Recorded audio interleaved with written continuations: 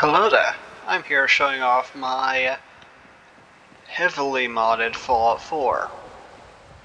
I have 330 mods, give or take, I'm pretty sure, installed here. I'm show, uh, showing off my Red Rocket. There's not much to it, but I think everybody who's played Fallout 4 has been here.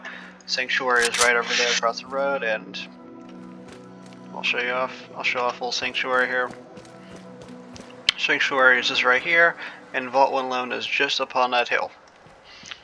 I'm just showing off my kind of how my game looks. It's a heavily modded. I took such Fallout 4 the collection as a basis, but I have since kind of changed a bunch of stuff around, gutted it to give me some improvements, such as just like the, such as like gun mods, as I can see here, to the Venturas some Pip-Boy mods for better stuff like that.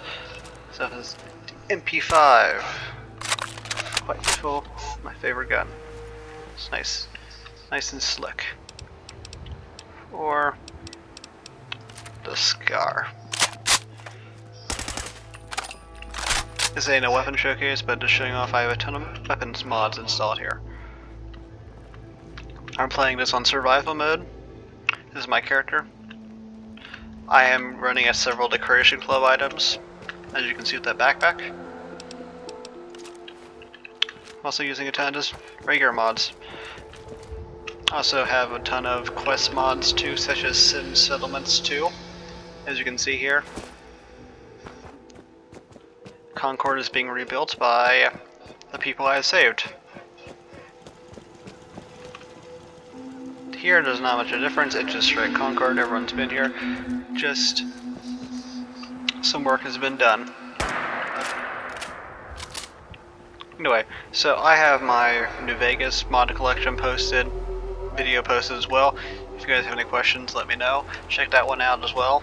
If I'm going to be posting my collection here at the same time, my New Vegas one at least. Um, if you have any questions, let me know. I can't guarantee I'll have my uh, collection down in the description I can't guarantee you that it'll work, but I mean, you're welcome to try or take inspiration from kind of how my game is set up. Anyway, thank you guys for watching. Have a good one.